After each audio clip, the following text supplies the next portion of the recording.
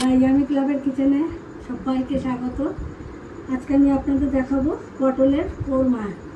পটলের কোরমা করতে এখানে আমি ছ পিস পটল, আট পিস নিয়েছি পটল। আর একটা বড় এরকম পেঁয়াজ বাটা নিয়েছি। এক চামচ মতো নিয়েছি আদা, রসুন বাটা। আর একশো গ্রামের মতো টক দই নিয়েছি। আর এখানে নিয়েছি পেস্ট করে নিয়েছি আমি। কাজু কিশমিশ আর পোস্ত। তো চলুন বন্ধুরা, দেখা যাক পটলের কোরমা। এখন তো পটল খেতে ভালো লাগে না, এরকম একটু প্রিপারেশান নিয়ে না বানালে কেউ এখন পটল বাড়িতে খেতে চায় না। তো দেখা যাক কেমন হয়। এখানে দু চামচ মতো তেল দিয়ে দিলাম। গরম হয়ে গেছে, এখানে হলুদগুলো আমি একটু নুন, হলুদ মাখিয়ে নিচ্ছি পটলগুলোতে। তারপরে একটু হালকাভাবে ভেজে নেব।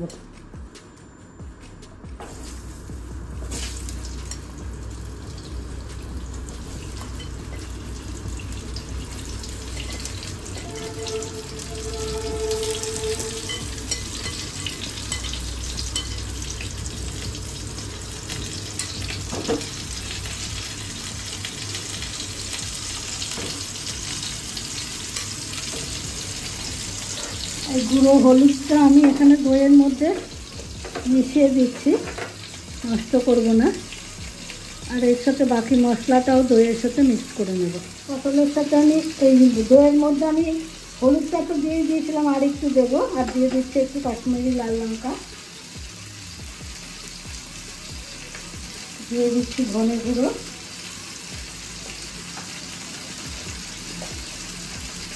দিয়ে দিচ্ছি আর সামান্য একটু হলুদ।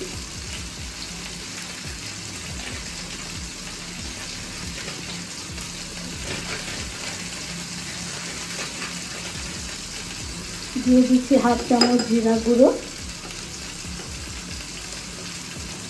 এখন ভালো করে মিশিয়ে নেব।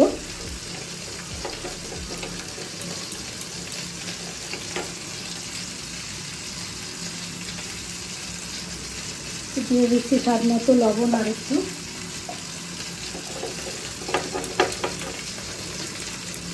এবার ভালো করে মিশিয়ে নিচ্ছি।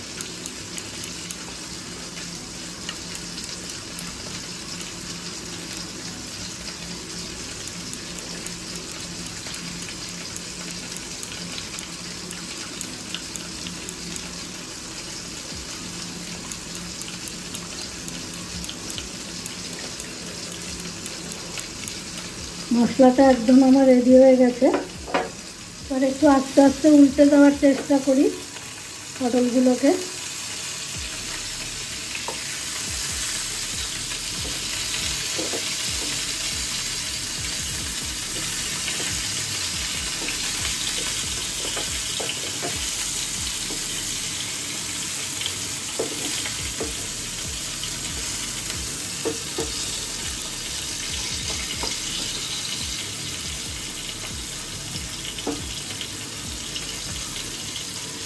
সব কটা পটলই একটা সাইড হয়ে গেছে। আবার অপোজিট সাইডটাও ঠিক এরকমই ভাজা হবে, তারপরে আমি তুলে নেব।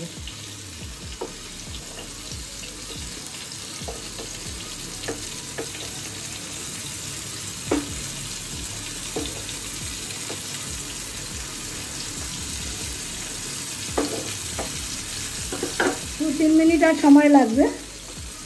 পটলগুলো কিন্তু আমার এখন ভাজা হয়ে গেছে। আমি এখন একটা একটা করে তুলে নিচ্ছি প্লেটের মধ্যে। তুলে নিয়ে আমি সাইডে রাখছি।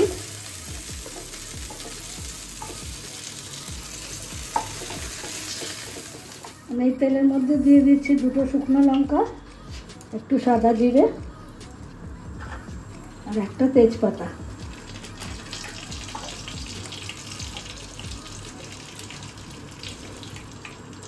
আমি এই মশলার মধ্যে একটুখানি চিনি মিশিয়ে দিচ্ছি, কারণ নাহলে স্বাদটা ব্যালেন্স হবে না, সবাই জানেন।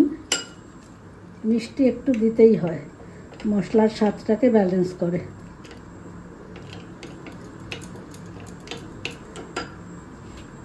ফোড়নেরও সুগন্ধ বেরিয়ে গেছে।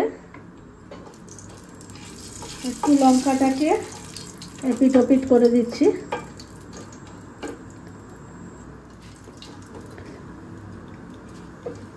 জিরাটা একটুখানি হালকা আর একটু হোক। আঁচটা কিন্তু একদম সিমে রেখেছি, এখন আমি দিয়ে দিচ্ছি পেঁয়াজ বাটা।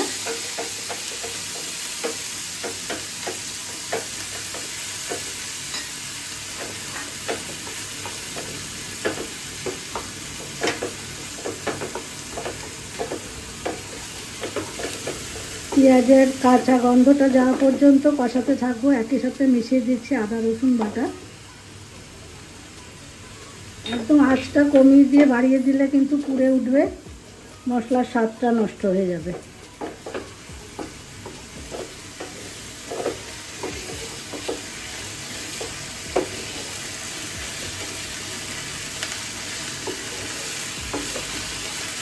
পেঁয়াজ, আদা, রসুনটা দেখুন ভাজা ভাজা হয়ে গেছে।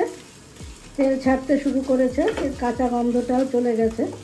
এখন আমি দিয়ে দিচ্ছি এই মিশিয়ে রাখা সমস্ত মশলাগুলো।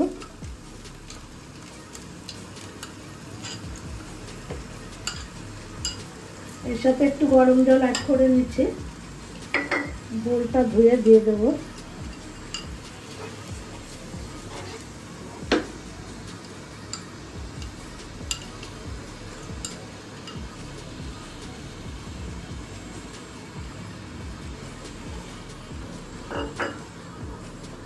একটু মশলাটা কষিয়ে নিই, তারপরে দিয়ে দিচ্ছি।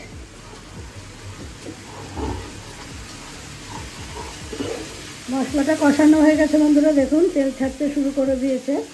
আমি এবার বোল ধোয়া জলটা দিয়ে দিচ্ছি। তারপরে কাজু কিশমিশ পোস্ত বাটা, পেস্টটা মিশিয়ে দেবো।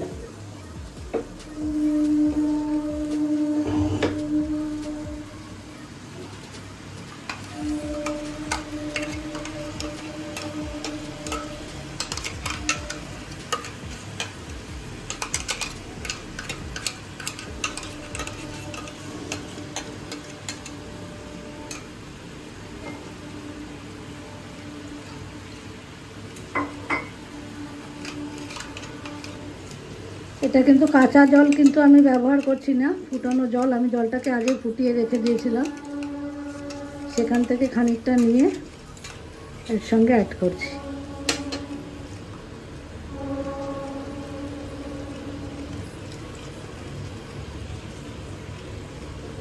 দেখুন কালারটা মশলার চেঞ্জ হতে শুরু করেছে।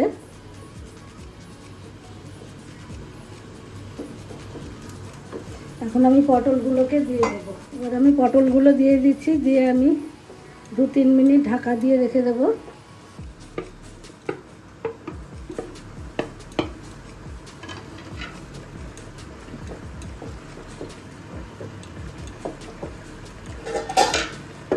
পটলটাও একটু সেদ্ধ হয়ে যাবে। তিন মিনিট বাদে দেখাচ্ছি। পাঁচ মিনিট বাদে দেখাচ্ছি। গ্রেভিটা একেবারেই ঘন হয়ে গেছে। এই পর্যায়ে আমি একটু কাসুরি মেথি দিয়ে ওভেনটা অফ করে দেব। আপনারা চাইলে একটু ঘিও দিতে পারেন। আমি ঘিটা বাদ দিচ্ছি।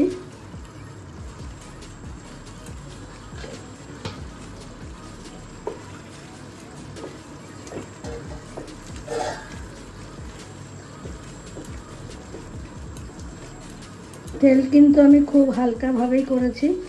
যারা তেল মশলা কম খান, তারা এইভাবে খেতে পারেন।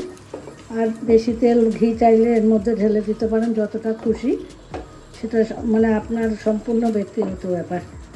তো এখানেই ওভেনটা অফ করে দিচ্ছি, স্ট্যান্ডিং টাইমে দু মিনিট রেখে তারপরে আপনাদের সামনে সার্ভ বন্ধুরা, পটলের কোরমা কিন্তু আমার রেডি আর কি ইজি দেখতেই তো পেলেন, আর এটা কিন্তু অবশ্যই গরম গরম ভাতের সাথে খুব ভালো লাগবে।